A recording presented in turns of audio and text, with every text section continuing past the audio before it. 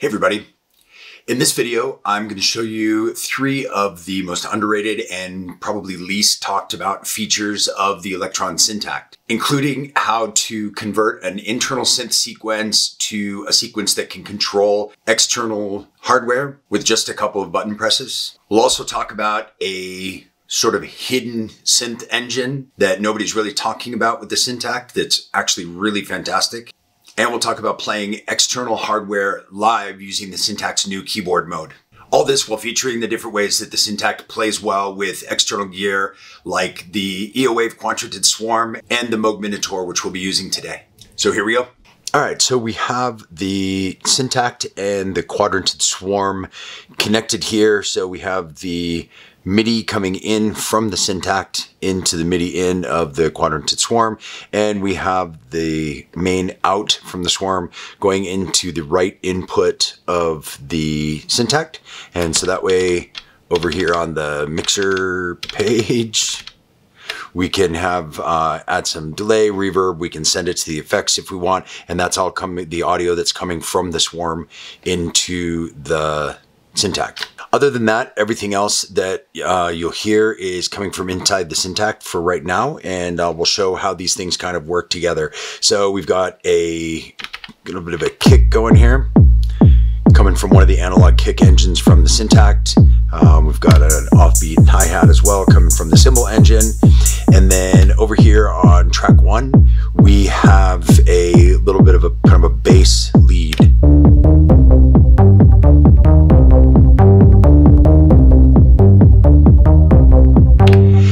interestingly enough, that sound, um, I was trying to mess around with some of the internal engines in the Syntakt and try and see what sounds that I can get from it. And this is one of my new favorite sounds, which at the beginning was probably my least favorite of all of the uh, machines that are inside of this. And that is the uh, chord machine. And what's interesting about this is that the chord machine, I was at first using it just as chords. And then I realized that when you dial it down to the bottom couple different things, once you get down below minor, you have different unison modes. So two, three, and four voice unison modes.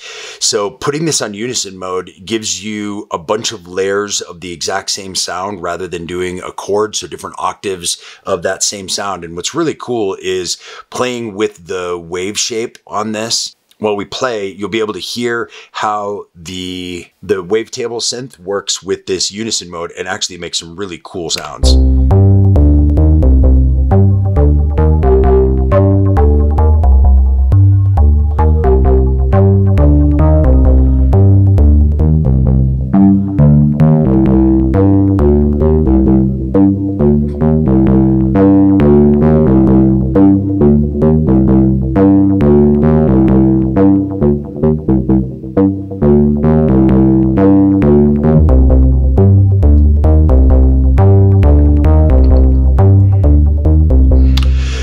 So anyway, using that with uh, that cool version of the chord engine um, with the kick and hat sounds a bit like this.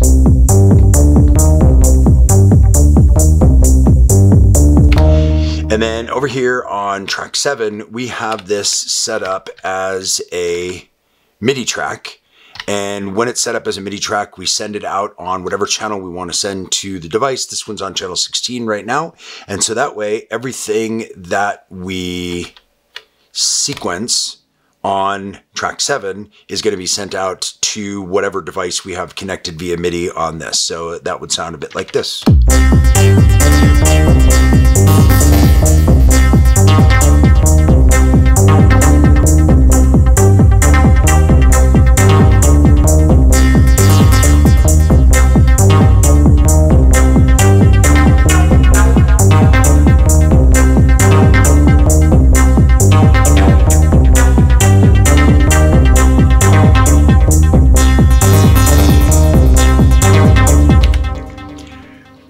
Which is tons of fun um, when you have things that are less easy to sequence, or this only has an eight step sequencer and we can do multiple steps here.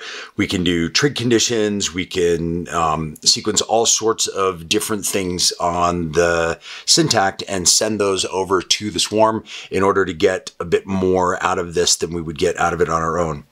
And as I was building this track up, I wanted a little bit of a kind of a rolling bass line in the background. And I put this on track number five here.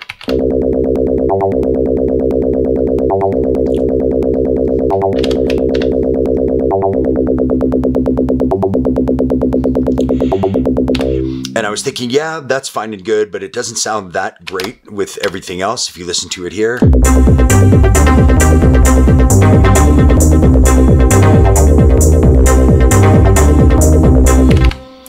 Was thinking, you know, I would love to have something that is a little bit more of a kind of classic um, analog bass sound that goes along with this rather than this sound that I just kind of quickly threw together. But it was enough for me to kind of try it out within the Syntakt and figure out that I wanted to have that rhythm and those notes in something here. But I didn't particularly want that sound. One of the coolest things about the Syntakt is that any of these uh, machines can be any of the digital or analog machines, and they can all, any of the 12 can be a MIDI machine. And so what's great about that is that if I decide that I want to bring in another piece of gear, like for example, the Moog Minitaur, so let's say we wanted to use that same pattern with the Moog Minitaur. All we need to do is connect the MIDI out. Uh, we split it with a through box so that we've got now MIDI going into both the Minitaur and the Swarm. Then we're going to take the audio from the Minitaur and put it into the left input. So then when we go back to this, we've got the input left and right. So now we have both of these coming through this um, these effects here. And then the really cool part about this is if we just listen to the kick and that bass line. So on that channel, we have uh, the tone engine that's making that. If we go into select our machine and we just arrow down, the bottom choice is MIDI. So if we hit yes, now channel five is a MIDI channel. So if we hit play, we're only going to hear the kick because this isn't being sent anywhere. So all we need to do is hit function and press this first encoder for channel. And then we're going to select the channel, the MIDI channel that we want to send on. Uh, the Minitaur's on 15. So then we're going to select that. This will send that same sequence that we did with an internal synth engine now to an external synth. And that audio is routed back in through the input. So let's hear what that sounds like. And now we can adjust the Minitaur.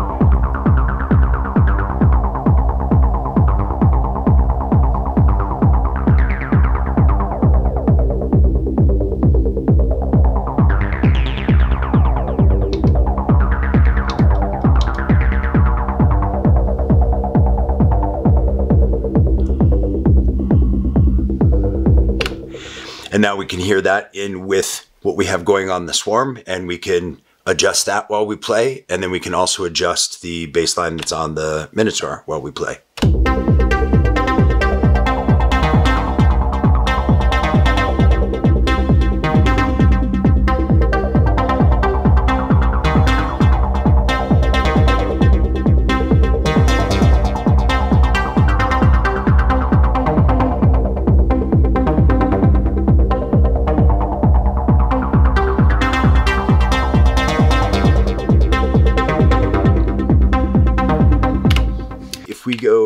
To the channel where we have the swarm, we also have the option to use uh, CC values to use these knobs on the Syntakt to control different functions of the swarm. So if you'd rather be able to control using these knobs or have everything in one place, you can kind of create your own macro for what you want to control here. So you've got eight different options of what you can control. So in order to assign something, again, all you need to do is do function and press the encoder and that activates it. And then you go to the AMP page and you're going to select what CC number you want to send to that particular one. So we have these first four here that are set to some different values for some of the different things. One is now set to the LFO speed. Um, two is set to fold, which actually isn't even a function that's on here, but it's a function that you're allowed to do through CC only. Uh, value three is going to the attack and value four is going to the decay of the envelope. So now when we play this particular part, we can change the decay.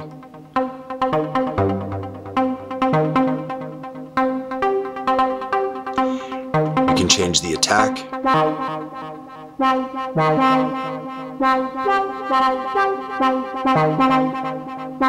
We can fold the wave.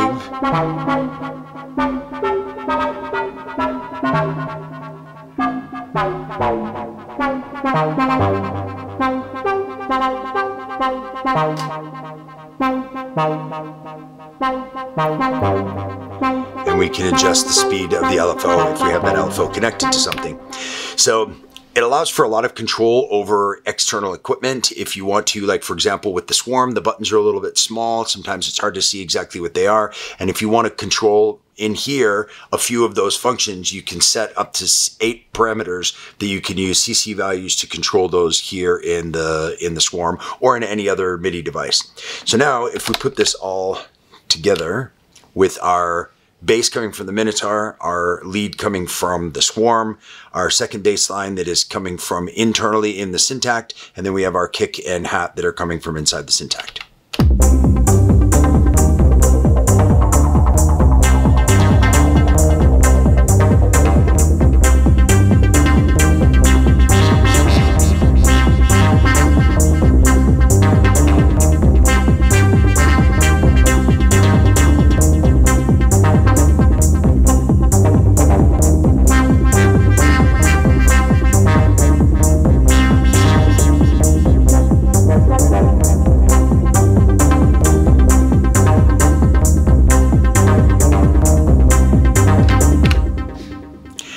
And that's how the Syntakt plays well with others and can be connected to all sorts of different gear. And one of the really cool things about the Syntakt is with 12 different channels, you've got four channels of analog synthesis. You've got eight channels of digital synthesis, but any one of those 12 can be converted into a MIDI track. So if, for example, you wanted to have the four analog tracks be analog, and four of the digital voices from within here, sequencing different things internally. You could sequence four pieces of external gear. If you wanted to use only four of the analog voices and sequence eight different pieces of gear, you can do that as well. If you only wanted to have the kick from coming within here and you wanted to sequence 11 other pieces of gear, you could do that as well. And so it's something that makes the Syntakt really, really flexible where with the other machines like the Digitone, you had four synth tracks and four MIDI tracks. With the Digitakt, you have eight sample tracks and eight MIDI tracks. And with the Syntakt, you have 12 tracks that are all flexible. They can be anything you want. If you wanted, you could use none of the internal things and this could sequence 12 different pieces of external gear that could all be sequenced through here and control those CC values control through CC values the functions on those synths from internally in the Syntakt. So the MIDI functionality for controlling external gear, as well as using the chord engine in unison mode, are for me two of the most underutilized functions uh, that I've seen out there with the Syntakt, and two things that I really am starting to love about this machine. Another really cool feature with the Syntakt is the keyboard fold. And, you know, if you hold function and long press on the track, it takes you to the keyboard mode. You can decide what scale you want, what you want your root note to be, and then you can decide whether or not to fold the keyboard. So if you have the keyboard fold off, you get a chromatic keyboard that shows all of the notes of whatever scale you decide to go in. So as you change around the scale, it's going to give you some different notes that you can play, right? Um, but if you do keyboard fold, what that does is instead of having one octave of your scale, you've got two octaves um, on one on the bottom row, one on the top row. So with this particular sound,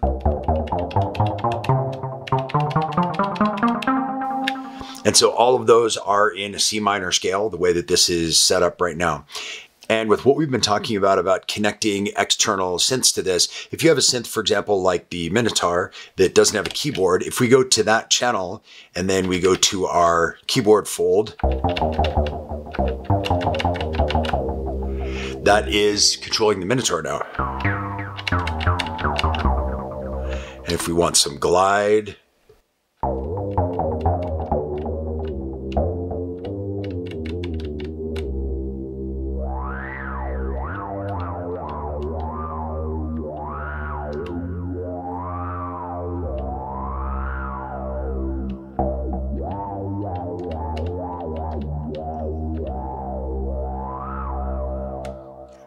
So all of that right now is controlling the Minitaur, but if we just hit track and switch to seven, for example, that's the track that we have controlling the swarm. So now that's controlling with two octaves of keyboard, we're controlling the swarm rather than having to use uh, the touch plates and only having one octave and it's not exactly set to notes unless you coordinate it with the notes. So it can be really difficult to set this up to play as a keyboard, but using the Syntakt, we can just go right in, go to that MIDI channel, and now we can control this.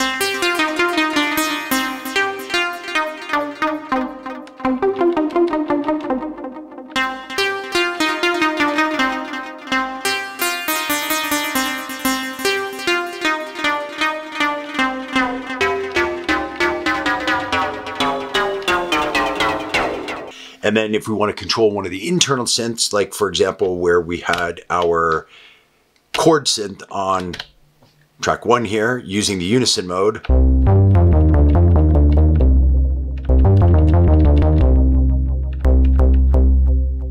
And we can go in and mess with this while we play.